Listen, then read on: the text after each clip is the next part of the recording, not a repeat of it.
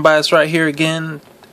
Um, going to show you how to fix a problem with iOS 7 and the iPhone 4S. A problem that was occurring where Wi-Fi was completely grayed out and Bluetooth was just constantly loading.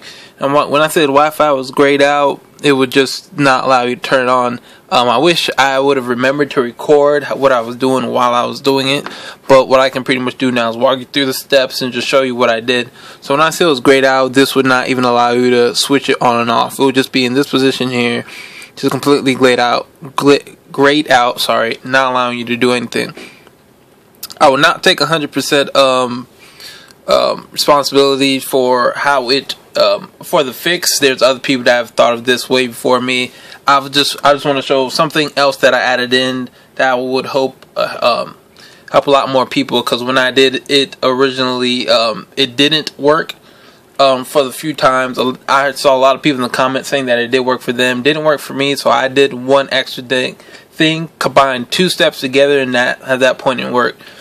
So the issues with um, iPhone uh, is the it being grayed out. So what they were saying in other videos that it's reading it as the phone being overheated or it's going to be overheated, something like that. Once that happens, it starts to turn off functionality. So two of the functionalities it turns off are Wi-Fi and Bluetooth.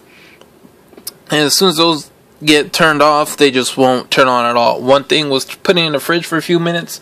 That only worked for me about 10 minutes. Another one was uh, making the phone overheat and then allowing it to and just powering off for 10 minutes um, and with that it should be working fine um, when I did the one uh, the one with the fridge worked for 10 minutes the one with overheating and letting it cool down worked um, for about two minutes and it just stops working completely so what I did is pretty much combine the two um, before I go ahead and say anything disclaimer since you are um, overheating and sticking your phone in the fridge for um, for this fix I can't recommend anyone do it because there's a poss um, there's a possibility that it can break your phone since you are over or damage your phone since you are um, overheating it. But hopefully, I can save you some money. If you're not 100% comfortable doing this, I would um, see if you can um, get some other people to do it for you. If you're just not 100%, um, um, if you're not 100% sure on technique or whatever, but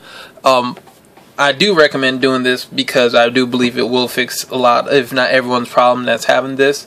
Um, but I can't tell you to do it because there's a poss- possibility that it can damage your phone. So, without further ado, let's get into it. So, first thing you have to do is get a hair dryer or some kind of heat lamp and hold it directly over the phone and just keep going up and down like this for the next 10 minutes. Usually, it took me about 10 minutes, and then uh, 10 minutes, then a warning popped up just like this one here saying that um, iPhone overheating your and you'll only be allowed to do emergency calls.